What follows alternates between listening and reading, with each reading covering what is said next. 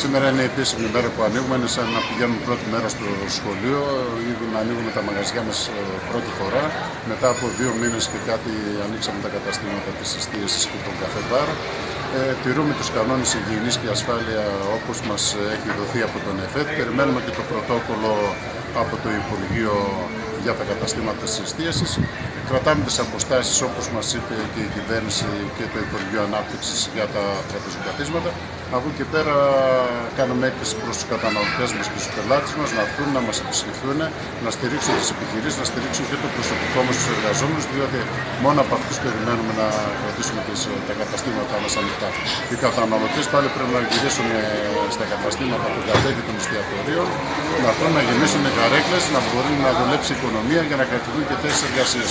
Το καλό είναι ότι καμία θέση εργασίας μέχρι αυτή τη στιγμή δεν έχει χαθεί από κανένα κατάστημα εστίας, από ό,τι έχω μιλήσει με τους συναδέλφους, δεν έχουν κάνει καμία απόλυση.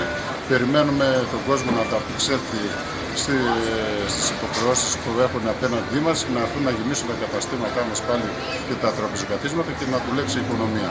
Οι εστιατόρες είναι ικανοποιημένοι από τα μέτρα, κύριε Τα μέτρα είναι προσωρινά, όπως είπε η κυβέρνηση.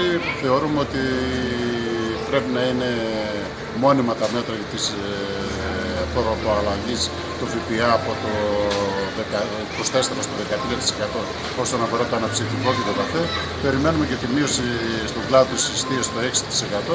Εμείς στο Σωματείο θα συνεχίσουμε τον αγώνα μας να διεκδικούμε και να συνεργαζόμαστε και με τους βουλευτές και με τους υπουργούς των νομοστερών και πανελλαδικά με το όργανό μας να διεκδικούμε. Ο αγώνας συνεχίζεται για το καλό όλων.